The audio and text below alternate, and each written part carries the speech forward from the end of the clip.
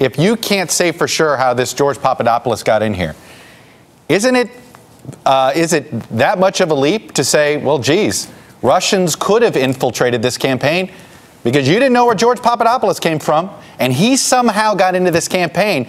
Is it now possible? Do you look back at this and say, geez, maybe, maybe the Russian government did infiltrate our campaign? Maybe it was a lot easier to do than I realized.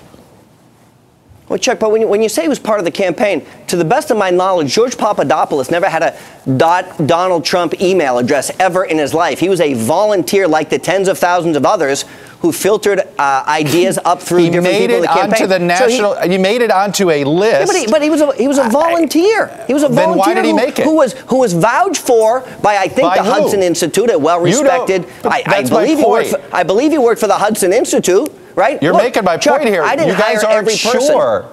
I understand that. But you guys are uh, denying, well, there's no way any of these things can happen, and you don't know how supposedly a low level volunteer ended up on the same advisory list as General Kellogg.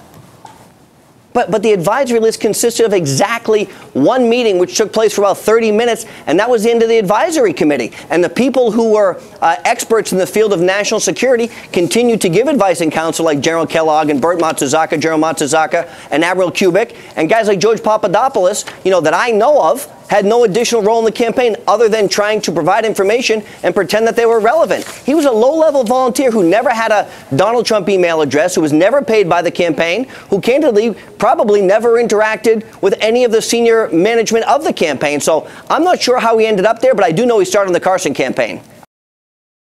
Hey there, I'm Chris Hayes from MSNBC. Thanks for watching MSNBC on YouTube. If you want to keep up to date with the videos we're putting out, you can click subscribe just below me or click over on this list to see lots of other great videos.